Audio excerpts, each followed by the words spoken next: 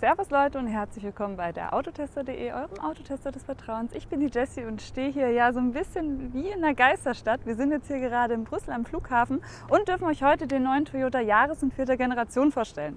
Und ich möchte heute mit euch nicht die Optik anschauen, ich möchte auch nicht mit euch fahren, sondern ich gehe mit euch an den Ort, an dem wir die meiste Zeit verbringen, wenn wir so ein Auto haben. Und zwar den Innenraum und den zeige ich euch dann ganz genau. Falls ihr Bock drauf habt, bleibt gerne dran. Ihr findet uns vom www.autotester.de nicht nur hier auf YouTube, macht gerne die Glocke an, sondern auch auf Instagram, Facebook und TikTok. TikTok. Abonniert uns auch da, würde mich riesig freuen. Dann würde ich sagen, springen wir mal los. Ich zeige euch noch schnell die Rückbank und vielleicht noch einen kleinen Carporn. Kommt mit!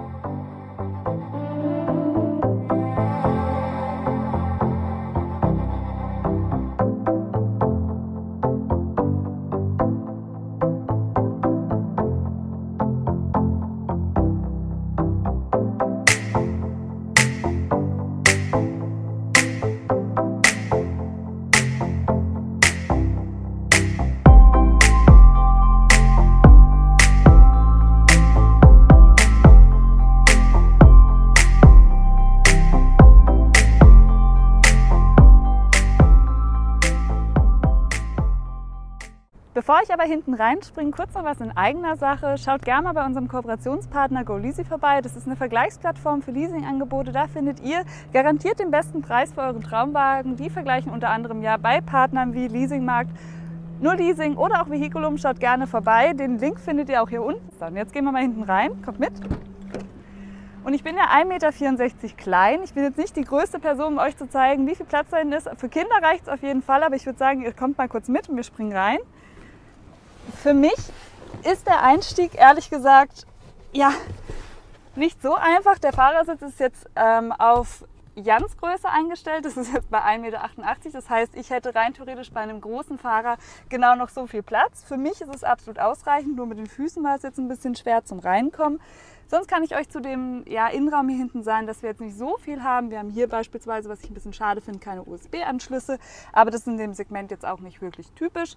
Sonst ist aber ja die Verarbeitung hier drin wirklich sehr gelungen. Wir haben hier einen sehr schön strukturierten Stoff, der sich gut anfühlt und auch bei so einer Hitze wie heute sehr angenehm ist. Wir haben hier nochmal Kopfstützen, die sich auch hoch und runter fahren lassen. Für mich super, aber ich würde sagen, bevor ich jetzt hier hinten zu viel quassel, springen wir mal nach vorne und ich zeige euch jetzt den Innenraum.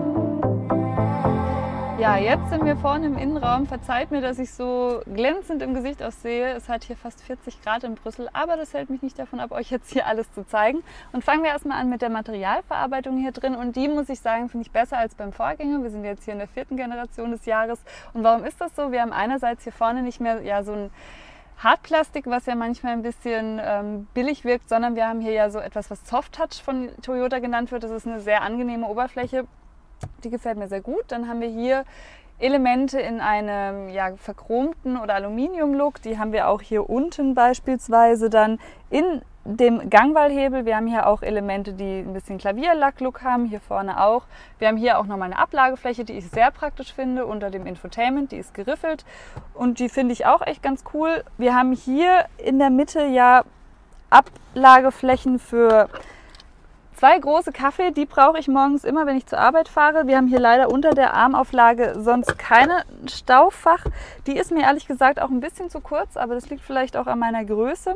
Sonst kann ich euch zu den Staufachmöglichkeiten noch sagen, dass wir hier natürlich ein Handschuhfach haben. Wir haben auch in der Tür ein bisschen Platz. Der ist jetzt nicht riesig, aber ausreichend, würde ich sagen. Hier oben haben wir auch ja ganz normal was zum Einspannen, aber sonst ist hier nicht viel Ablagefläche, aber ausreichend, wie gesagt, vor allem für das Segment.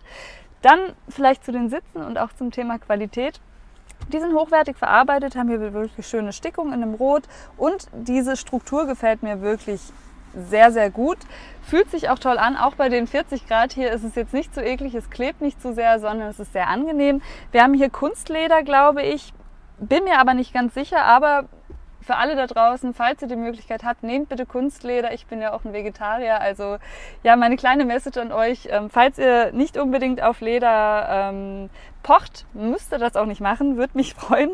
Ja, und sonst sind die Sitze wirklich sehr bequem und die sind auch langstreckentauglich, was jetzt genau in diesem Kleinwagensegment gar nicht so schlecht ist. Also ich saß jetzt hier heute den ganzen Tag in Brüssel und muss euch sagen, das war angenehm, ich sitze gut, ich habe keine Rückenschmerzen, also tipptopp. Machen wir hier vorne weiter beim Lenkrad. Das liegt gut in der Hand. Ist ein typisches Toyota-Lenkrad, aber ich war ein bisschen überfordert von diesen ganzen Knöpfen hier. Mir sind die ein bisschen zu viel. Ich weiß nicht, was ihr davon haltet. Schreibt es mir gerne in die Kommentare. Wir haben hier rechts alles zum Thema ja, Abstandsregeltempomat.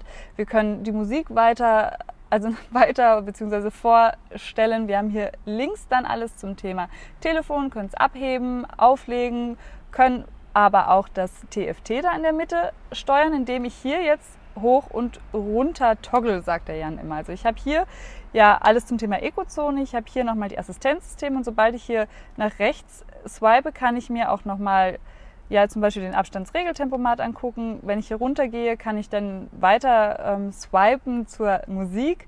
Habe dann hier alles zum, ähm, ja, zur Fahrt. Wir haben hier unten nochmal alle Assistenzsysteme, die ich ein- und ausgeschaltet habe und hier auch noch Meldungen vom Auto.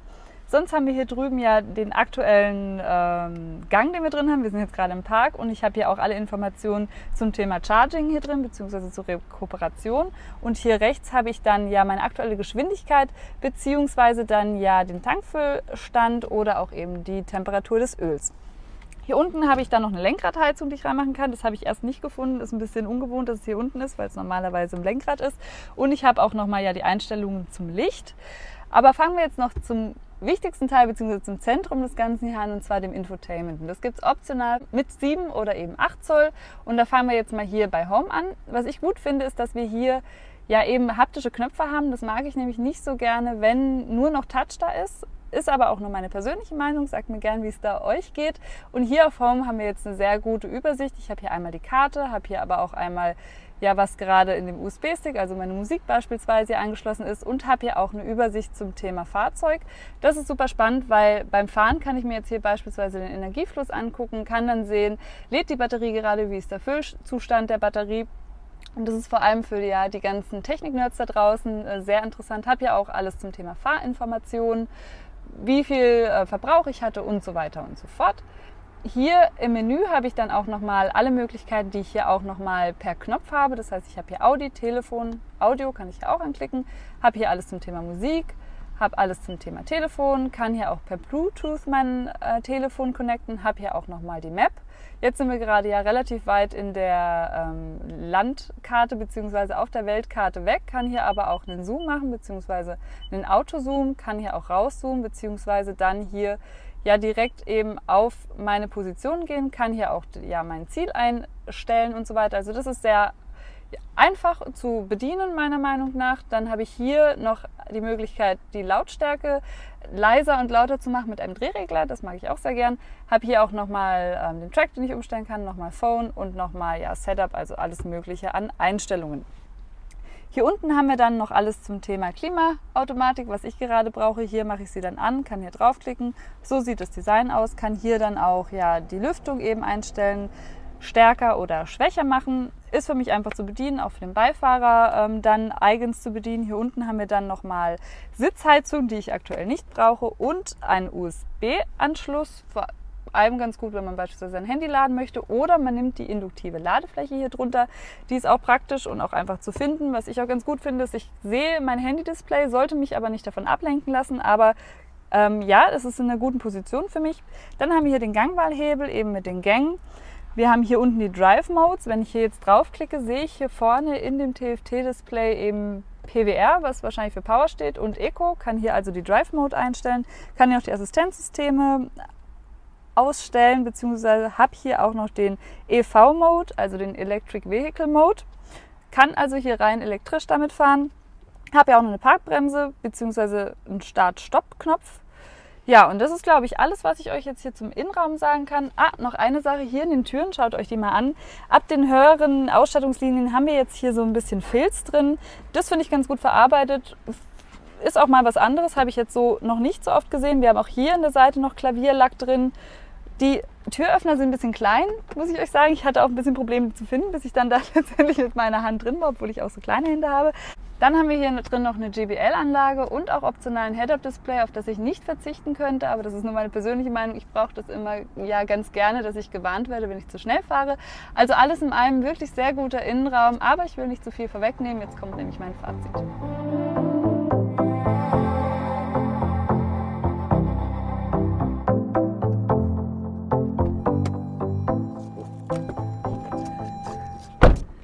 Ja, kommen wir zu meinem kurzen Fazit zum Toyota Yaris, Yaris bzw. zum Innenraum. Ich muss euch sagen, ich finde ihn wirklich gut gelungen. Er ist gut verarbeitet und auch viel konnektiver als der Vorgänger. Aber jetzt erzähle ich euch noch kurz was zum Preis. Und zwar beginnt er jetzt bei dem 1-Liter-Motor bei, ich habe einen Spickzettel dabei, 15.392 Euro. Und so wie er jetzt hier steht mit dem 1,5 Liter Hybrid, beginnt er dann bei 19.486 Euro.